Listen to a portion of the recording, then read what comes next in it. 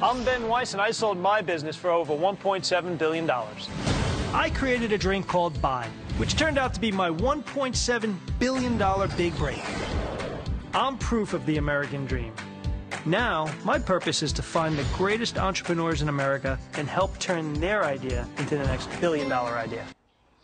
Okay, can I just make something clear here? Ben Weiss, when he first started, had card tables out on the street giving people free tastes of his drink. He started at the very bottom. Billion Dollar Idea is now the latest addition to the FBN Prime lineup, and billionaire businessman Ben Weiss is searching for the next big billion dollar idea. Here he is joining us in studio. Welcome to the Fox Business team. Well, thank you for having me. Liz. We're thrilled to have you here, but I love this story idea. And tell me, is it like a game show? How does it work? Is it like yeah. you know you, you get ideas and you see which ones smell good and taste good? Well, I wouldn't call it a game show. It's basically the search for the next big billion dollar idea and the entrepreneur behind the idea. Because as you know, and you and I go back, I mean, it's as much about the entrepreneur as it is about the idea. But what's great about the show is that it takes me to 15 cities to see 15 entrepreneurs. I literally knock on their door. They meet me for the first time when I knock on the door. Uh, I get to meet their idea. I get to meet them. They take me into their basement. I get to meet their families because Make no mistake, the families go on these journeys with you, and you need that support. You need to dream alongside your loved ones. And I determine of the 15, I choose six to come back to my basement, which is this underground speakeasy in Trenton, New Jersey. And it sits underneath my new entrepreneurial company called Crook and Marker. And in the basement in New Jersey, they get to compete with challenges that are based on my book, Base Mentality, that really measures, measures their mentality, their ability to usher an idea to market when quite frankly nobody cares. When nobody cares and, and everybody's saying no or this isn't going Constant to work. rejection. Constant yeah. rejection. And you sat in your basement for years whipping up Bai and making it happen. What is that special something that you look for in both the entrepreneur and the idea? I mean, have you met a great entrepreneur who has a stinker of an idea?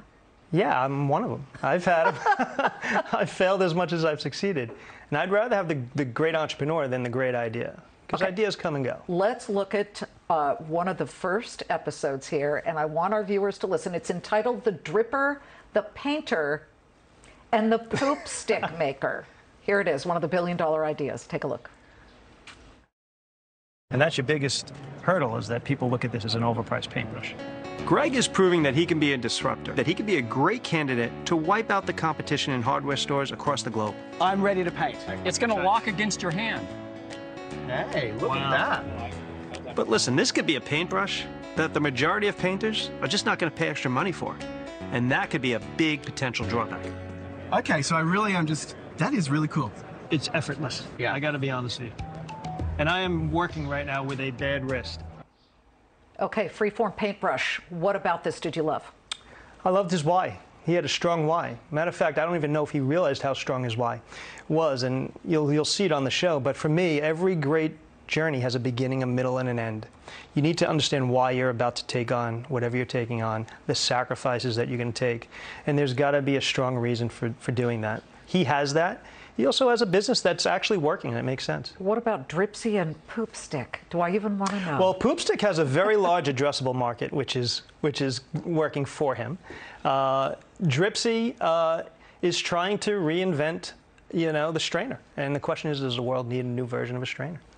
And how did how does something like that, which I don't know what the price point is, but a couple of bucks, yeah. turn into a billion dollar idea?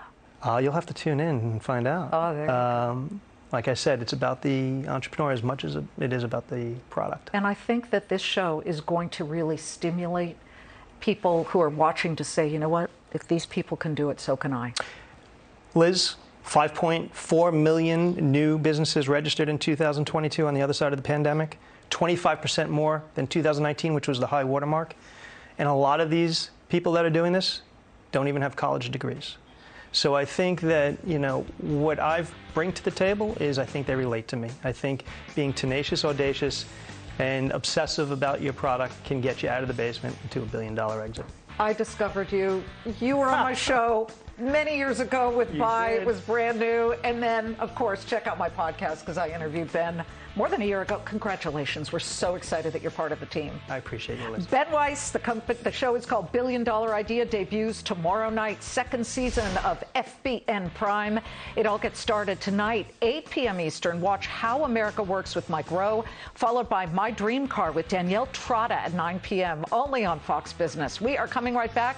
Twitter's still up about 5.9%.